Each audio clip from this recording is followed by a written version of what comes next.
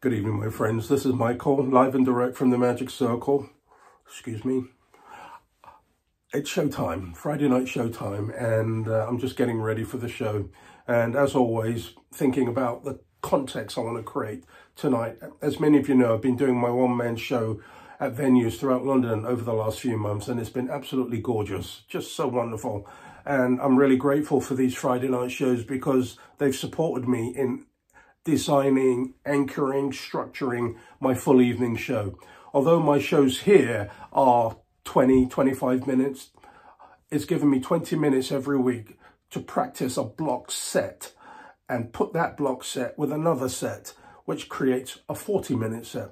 That's how my show grew and evolved into Michael Vincent Showtime. So what's the point in this for you? Use every performance to improve your magic. Listen to your audience. They won't lie to you.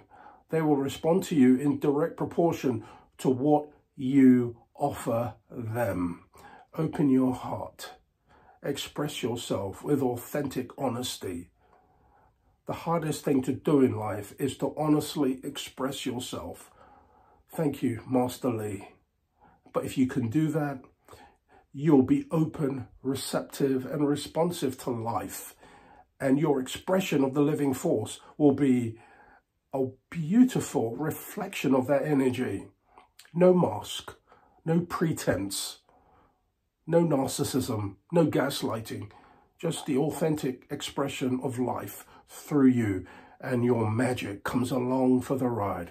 There's nothing better than that. So if you're working this weekend, this is your mission if you choose to accept it. Why not? What else have you got to do? Go for it. Have a good one. See you on the other side.